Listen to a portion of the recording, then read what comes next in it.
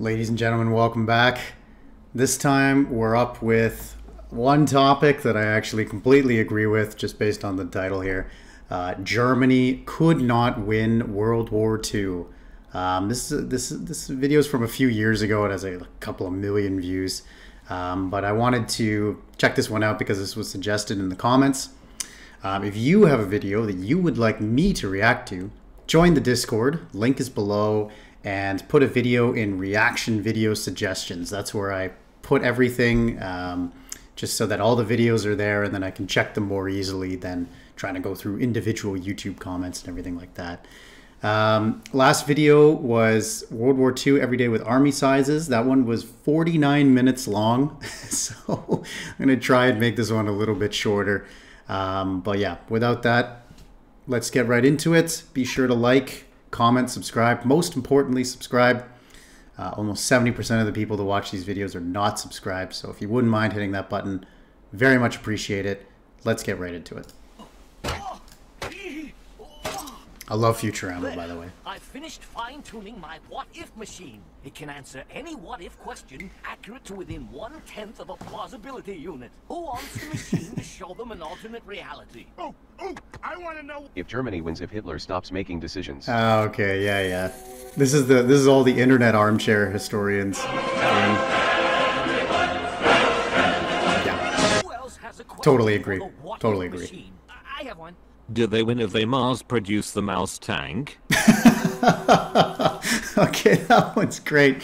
That reminds me of the Hoi Four, uh, somewhat of the Hoi Four community in the in the Wunderwaffen uh, cult, cult. Sorry, cult. Uh, that's that's cold in German.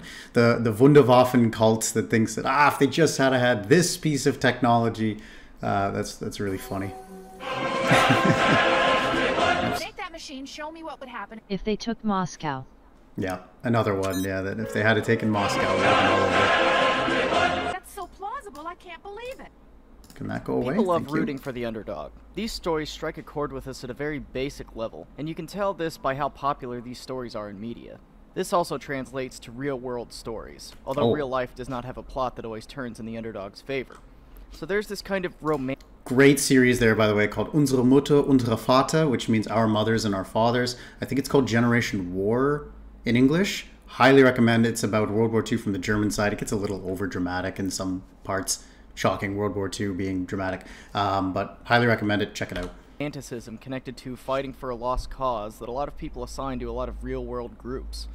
One of these you see talked about a lot is the German army in World War II. That if only True. dumb Hitler hadn't been in charge, or if different choices were made, that the war would have turned out different. And a lot of these arguments seem to hold water on the surface, but upon reflection, mostly miss the point or do not make a significant enough change to sway anything. True. These are my Yep. favorite how Yep. Germany could have won scenarios and how they're wrong.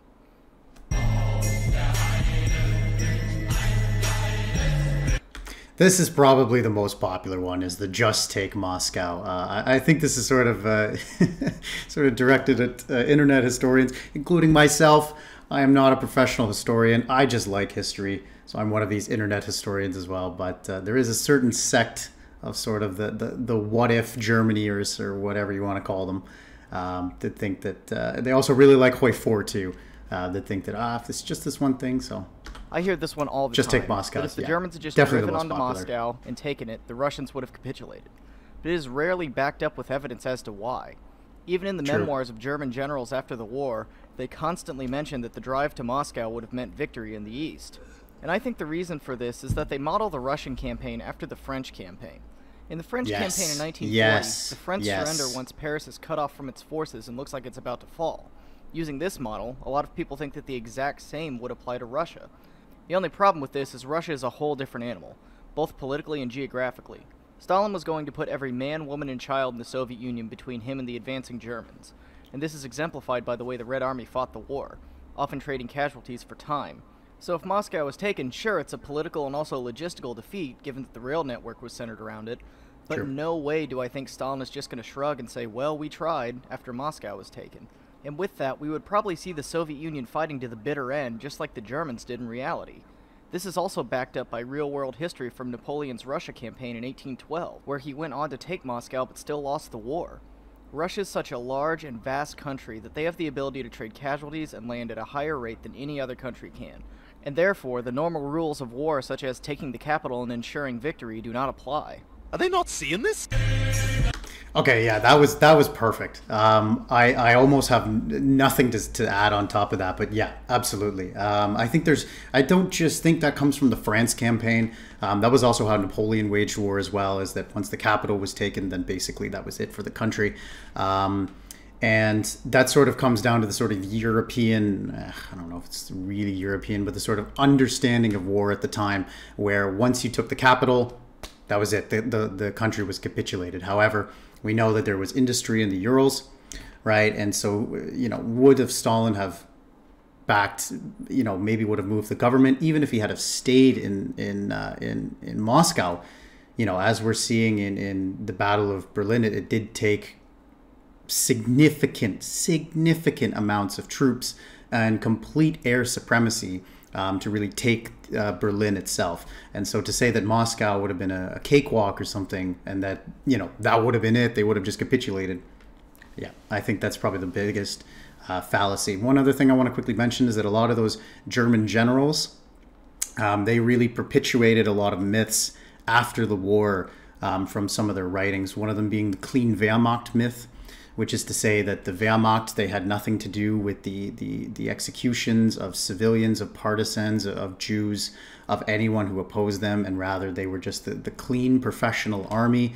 Um, this was sort of reinstated by uh, troops such as, uh, uh, sorry, generals such as Guderian, uh, Manstein as well. And this sort of myth was very, very prevalent for many, many years. Um, there was just sort of all the blame was put onto the SS for all these all these casualties, um, and you know we now know that it's not true upon further reflection. So, always, you know, uh, all, all the all the personal accounts of of, of uh, Germany's roles from German leadership that survived the war and were not uh, executed at, at Nuremberg or any of the other uh, trials. Um, always take with take with a grain of salt.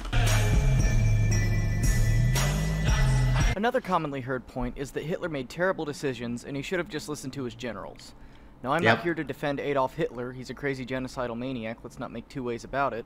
But this isn't always the case. For example, Hitler and the High Command were all in agreement on invading Russia. They all very much wanted to, in their eyes, destroy communism and save Germany, as Hitler laid out in his book.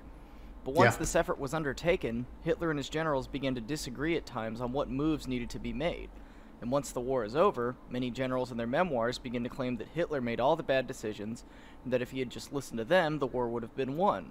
Of course, And one example of this, I already hinted at. always take the generals with a Hitler's salt. generals were convinced that taking Moscow would end the war for many Yeah. erroneous reasons I listed previously. For Hitler, Moscow was a general direction in which to head, but was not the final objective. For him, the resources in the Ukraine and the oil fields beyond were a much more important target. Yes. And given Germany's oil shortages, this is a good example of where Hitler was right and his generals were wrong.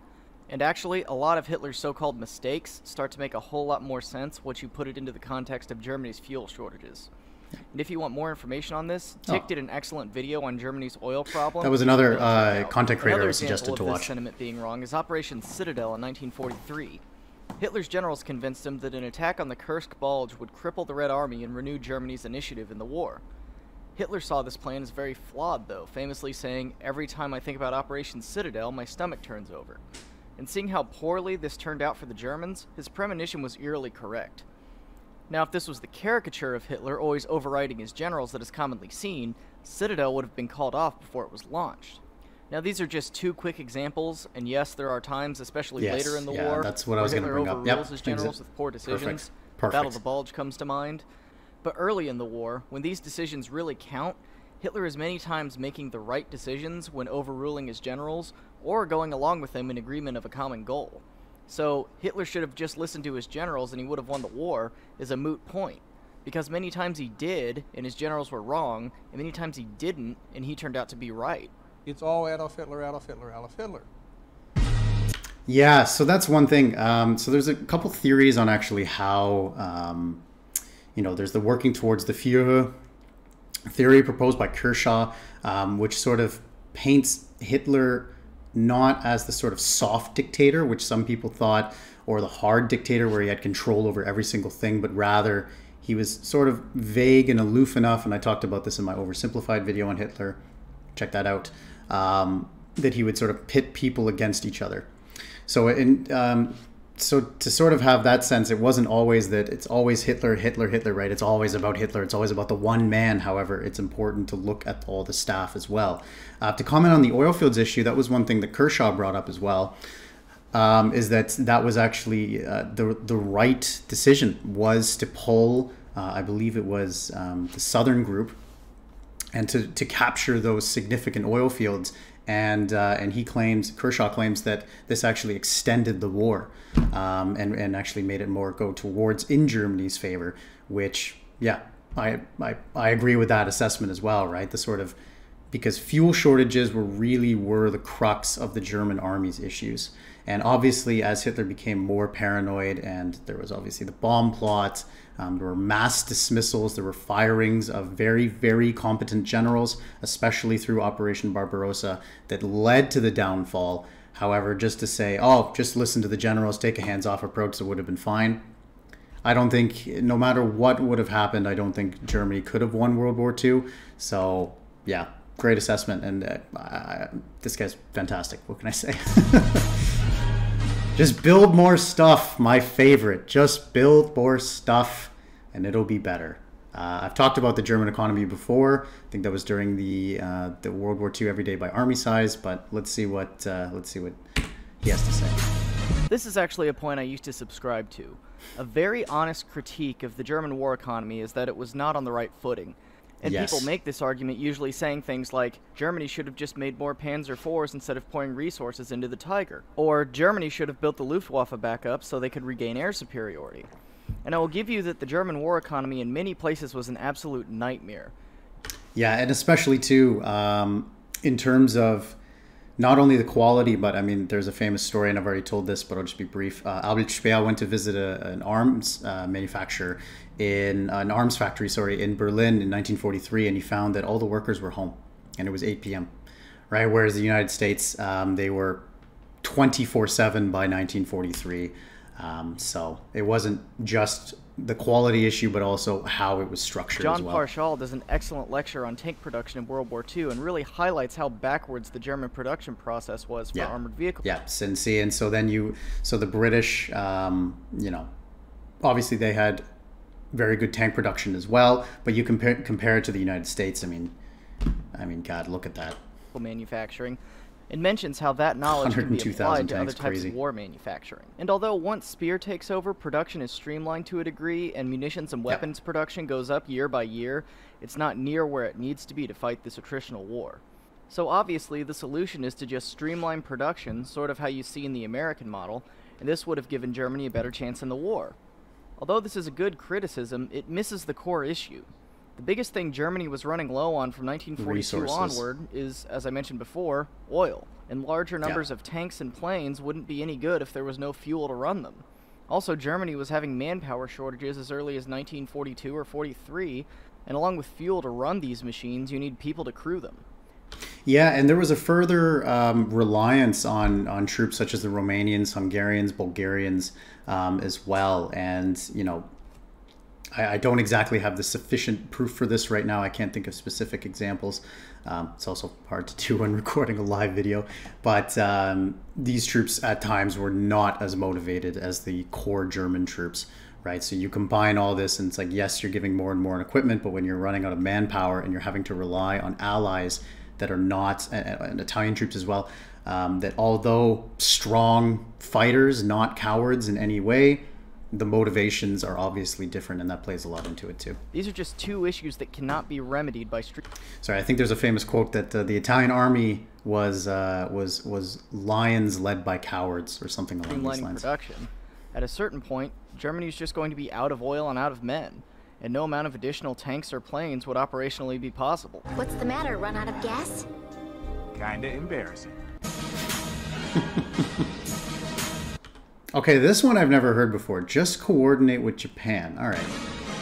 This is another point that deceptively seems to make a lot of sense, as Germany was crushed by a two front war. It stands to reason that if Japan and Germany, through their alliance, had coordinated an attack on Russia, they would have won. And that may honestly be true.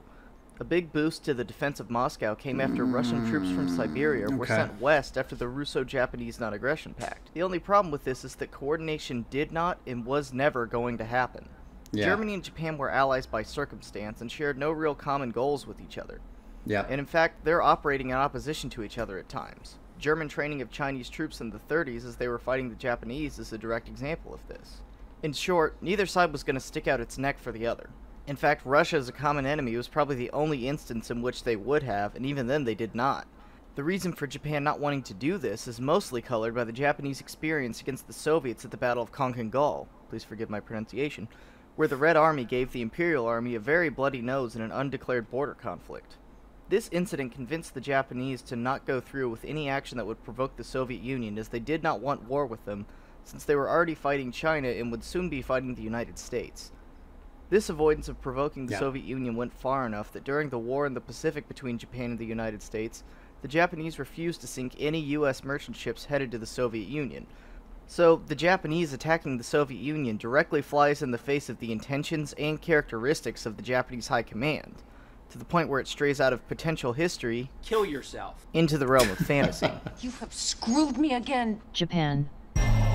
Right. So uh, one thing I want to bring up too, in terms of uh, Japan and Soviet relations, is that there's a fascinating theory, and this is probably something that I'll that I'll do a video on at some point, um, of that the nuclear bomb was not justified um, because the Japanese were going to surrender anyways due to their fear of being invaded by the Soviet Union.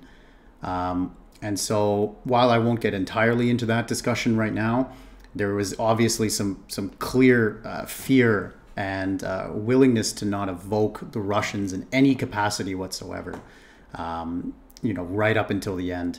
So to say that, yeah, they could have just coordinated in one. I'd never heard that before. Um, but yeah, I think you made a, a fair point there of, of why that would not have happened. Yeah, more, more Wunderwaffe, the the Hoi the Hoi 4 community's favorite thing. this is my favorite one. If Yeah. they had just made Mine too, actually. design here, Yeah, exactly. It's always the completely ridiculous science fictiony crap, you know, that says, ah, if they just had made this one thing. And, you know, they did make that one thing. They had the V2s, and it didn't work out. They had the V2s, right? And they launched a couple on Britain, and it had absolutely no impact on the wars. the war may have gone differently, and it's the idea that this thing, or this thing, or Yeah. this thing Yeah, would somehow were- have single-handedly lengthened the war.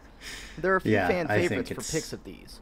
The one I see most often being the Maus, the ridiculous Yeah. 200-ton behemoth that in reality would have been awesome target practice for Allied fighter bombers and something for Allied soldiers to gawk at once it had run out of fuel and had to be abandoned.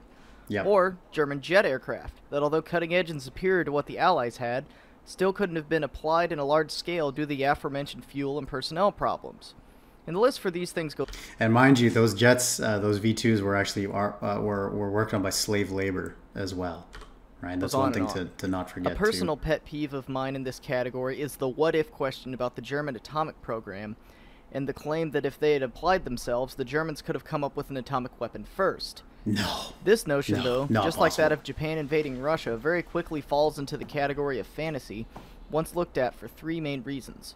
One, many of Germany's top scientists were expelled in the 30s for being Jewish, automatically limiting German atomic capabilities. Yep. And actually, many of these scientists went on to work in the American nuclear program. So, to make this win scenario work, you automatically have to make the Nazis tolerant of Jews, which is not going to happen. Two, the German atomic program is all but cancelled by 1942. As Speer put it, we got the view that the development was very much at the beginning. The physicists themselves didn't want to put much into it. Which works into my third point that Hitler saw atomic science as Jewish science and pointed the focus of German development towards conventional weapons. So we're not even Okay. talking about an atomic race between the US and Germany, as it was barely being pursued by the Germans. And to give a what if scenario about it would fly directly in the face of what Hitler stood for. And this gets into the bigger problem with this question that even if Germany does produce these wonder weapons and extends the war, it's only going to extend it long enough to be the first country to get nuked due to the Germany first policy of the Yeah, Allies. good point. making a Jet plane. Hmm? Or a remote control that can turn you into Super soldier. Hmm? Or is it just another dumb Tank. Yeah, exactly. But almost nothing to say on that one. I think I pretty much covered it. Now, these are just a handful of points that people bring up when talking about how Germany could have won, but there are many more that I didn't go into that are equally baseless, such as the Germans True. should have and could have invaded England, even though the Kriegsmarine Oh, would not be oh, able to that's a- support a, large amphibious that's another good attack, one. I And a much to say about larger. Royal Navy would have probably sunk the invading force before it even reached the shores. True. Or that Barbarossa should have taken place earlier, even though it wasn't really the winter or the rainy season that stopped the Germans. It was a lack of supplies that needed to be brought up. For more info on that, check out this lecture by David Stahel. You'll see people bringing up scenario after scenario that bends reality and character motivations very widely to craft a scenario that Germany could win. But here's my point Germany would not have won World War II no matter what way you slice it. The fact True. of the matter is, this is a country Within realistic country that is expectations. too small and too short on resources to take on the three largest world powers at once, especially given the erroneous actions and motivations they have. Basically, the Germans dealt themselves a bad hand and played it poorly. And the only way that's going to change is if you bend time and space to their liking with the benefit of 2020 hindsight. Yeah, All things that are not going to happen in reality. Yeah. So I mean, yeah. So what can I say? Yeah, that was that was that was brilliant. I'm really looking forward to part two. I'm gonna release that next, so look forward to part two. It's gonna be out uh, not tomorrow, but the day after, and let me know what you guys think. Do you think in any way that Germany could have won World War II? Are there any theories that he didn't cover? Do you think that it's more simple than what if one thing, but rather a multitude of things? I don't know. Let me know what you guys think, and I will see you in the next one. Take care.